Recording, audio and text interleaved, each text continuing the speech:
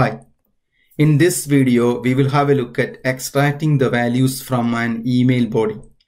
I have already made a video regarding this. Earlier, I have received a comment asking are there any other ways without the index we can extract the data or not. So if you haven't watched the other video, please have a look at first. See the description for the video link below. So in that video, I have described a pattern of data.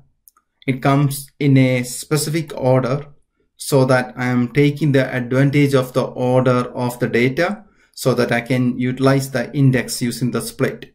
It's all in that video.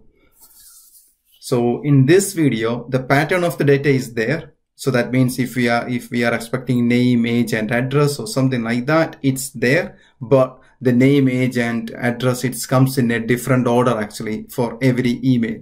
So that means, um, let me go to the flow now and um, build this flow. Okay, so let's use the manual trigger. So in the other flow, I have used the Outlook as the connector. I'm not I'm not going to go into that um, you know um, to building a the flow sending the email and extracting the body. So if it's coming from the body all you need to do here is uh, map the body here under the compose so for the demonstration purpose I'm going to use a manual trigger uh, here okay? So the pattern of the body might be coming like this then name. And I'm going to put Smith then the next line um, is age 30 and company. So i'm going to put abc corporation. Okay? So suppose that's the format i'm going to get. So what we generally do in the, in the other video i did using the index. So here the i'm going to show you the order might be different. So that means in the next email I might I might get uh, uh, the data in the same order, or it could be age 30 is the first, then the name, then the company. So it could be in any order, but the pattern is there. The name should be there, age should be there, company should be there, but there are no specific orders. So that's what we are going to focus here. So how can we extract the data in that case? Okay. So for that, again, I'm going to use a compose here and rename the compose to return and press the return character. That's it. Press the enter key here. Okay that's done. Then the next next step I'm going to use the compose. And using the split. So I'm going to split. Using the expression click on the function and say split brackets go down and use the compose that's where our values coming from. So remember that it's a manual trigger. That's the reason i hard coded the values in the second step. If you're coming from the trigger you need to map that value. Like coming from the email map the body dynamic value there here in the first compose okay? So i'm going to take the output of that compose comma. Then the second one second uh, compose is my return value here okay? So that's done. That's a split so what's that going to do here is I'm going to save this flow. So I'm going to demonstrate demo split unstructured data. Click on save and uh, then I'm going to run the flow. Test manually click on test run the flow click done okay flow ran successfully and you can see here uh, there's a split here. So in my first video what i'm doing here is because of the split it's going to return an array and uh, I can directly specify its name you know the split of 0 split of uh, 1 split of 2 that way I know the first index is name second index is age and third index is a company then. Okay? So unfortunately I can't use the same order here so what I'm going to do here now is, um, because I did the split, the next technique for this, the unstructured data to get, uh, the plan is click on the control and go to the apply to each here. And because it's an array, I can go and get each and every item there. So from here, I'm going to say split output, that is from the previous output here, then add a compose here, okay? So I'm going to add a compose here and um, I'm going to rename here to each item. That is each line then I'm going to get. And using the function and type here item. That's it. Item with two brackets that's a function. Okay run this flow and see what result we are going to get. Right flow ran successfully. You can see there are three items here. So it's there are three items here. Each uh, item is first item is the name second item is the age and third item is the company. So i know i want to extract those three values then. Okay so that's all good. Going back to edit what i'm going to do now here is i'm going to edit um, sorry I'm going to go yeah edit and then add an initialize variable here. So variable initialize. I'm going to call this as name and that's the string I want. Okay. The next action again initialize.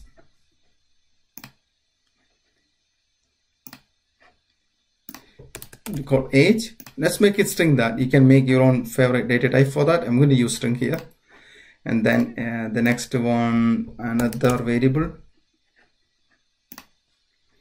Initialize again. And put company here again that's a string value. Okay so initialize three values here. We need that uh, later on here. So from each item i don't know because the data is going to be in a different format as i mentioned earlier like it could be age is first then the name and company or in the another email it could be name is the first and age and then company. So we don't know which order it is going to come up. So i extracted the each item then the next statement it's an if condition then okay? So under the if condition what i could do say here is i could go to the function here again and say item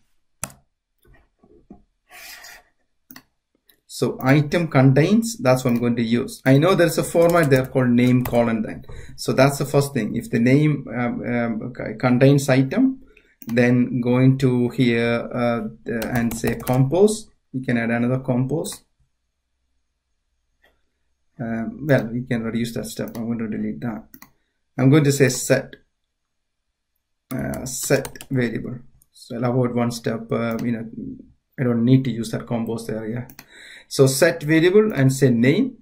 So how do we get the name? So we know that name format is going to be name colon Smith. Okay. So again, I'm going to take the advantage of the function here and to click the function. I'm going to say split. Split of the item again, the current item. And uh, in, in that, I know there is a name with colon there, but I want the last value there. So again, I'm going to put last that's the syntax we need to use here. See that? That's the syntax. So last bracket split bracket item comma name and two brackets at the end. Okay?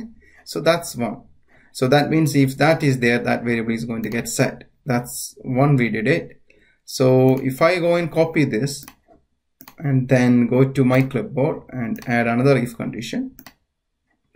So it's my second condition now so it's my current item contains. I'm going to change this to age then. That's it. And then here the set variable is going to be age. And then in my expression, I need to change this to age. So that's age now. That's second one done. Then again, I'm going to go to my clipboard, click on the condition. You could use a switch condition if you want, but uh, you know, I'm going to use um, if condition here and then um, if uh, the if uh, condition is 3 again current item contains company with colon and it just change the name to company colon then like that. So that means uh, you know I got the value using the last index. So it's the last value I will get from that split. So those three is done. That's a loop outside the loop all i'm going to do here is I'll show you i'll put a compose here just for debugging and the testing purpose. And uh, you know i could uh, um, rename this to final results. And under the input all i'm going to do here is go into the variable here and say come uh, that's sorry the name. Let's put that in the order then. So i want the name first. Okay i got the name. I'm going to put an enter key here then I can use that same variable to get another one like uh, same in same compose this is just for the debugging purpose nothing else so name then the age and again the company then here we go so that means, you know, if you got an Excel sheet, you add the Excel sheet or SQL and you can directly map those variables like that, you know, name, age or company. So in, uh, this is purely for the debugging, debugging purpose. I'm adding this. Okay, let's run this flow and see the results.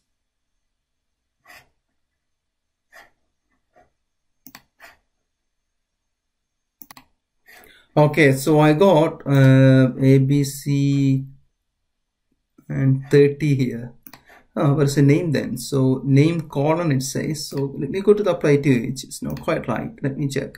So that's true. What's the set variable value there? That's a smith. Oh okay. So i don't think i mapped it correctly there. I mapped it correctly. I thought variable name age and company there. And under here the each item uh, for that current item contains name. I put name there. That's a set name. Name is equal to yeah that's correct. Then here current item is age. Then that is age. And uh, current item contains company. Contains contains contains. Yeah that looks okay to me that. I don't know why it's not showing it name age and company there. So what happened there? I don't know. Let me have a look. I'm going to remove this line see like that okay? Let's try to run this again and see. I was suspecting the right result there but i haven't got the result here the way i want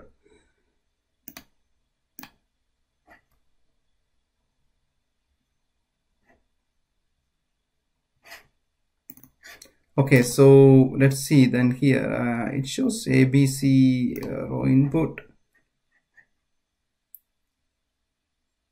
Where's the Smith? There Smith. I haven't seen the Smith value there but I can see here and apply to the first condition is true. The value is Smith. The second one here that is false and that is false also because that's the first uh, loop. The second line that is the age you can see that. And so first one will be false the second will be true and that value is 30 that's correct. And next the third one company abc crop yeah that's a abc corporation. That's that. First two will be false then. That's correct so how come in my final results i can't able to say it? It could be that compose is playing up. So let me change that. Okay just the name only now. So go into the dynamic one and say give me the name then. Okay just try to run this again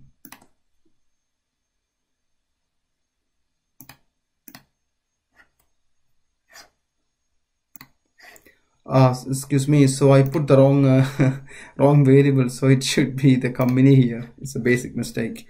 That's it. Okay so let's put name. Next line I'm going to put age. And next line I'm going to put company. Here we go. Okay let's try to run this now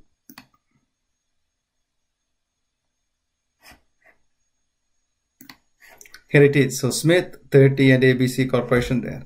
So let's go and edit this record and uh, i'm going to put age 30 age so another email comes through as, as an example i'm saying. And the data comes in a different format. I'm going to put here as 36 and instead of uh, smith i'm going to say here david. And here i'm going to say x y z corporation okay let's put a name in the other and other one also here the last. Okay so let's run this and see what the result is going to be. So make sure these three you know these three values should be there and you know but data can be in a different order. That's what uh, this video is all about. Okay let's see that. Um, here we go. We got david 36 and xy core so without the index this is the way you could utilize it. Use the split and then you know get the items in a loop using the apply to each then from each item we need to use a condition because we can't use the index that means we are utilizing a contains with name colon That means we know that's a name. Doesn't matter what order it is come through then. And then utilizing the split, uh, the expression. So I'll put these expressions in my video description. Hope this is useful. Thank you for watching.